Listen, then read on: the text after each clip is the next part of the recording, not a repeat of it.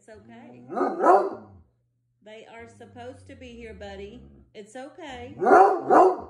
I know. Thank you. You big. You're a big protector. It's okay. Waylon. It's okay. I know. I know. It's okay. Good boy. You gonna let it go?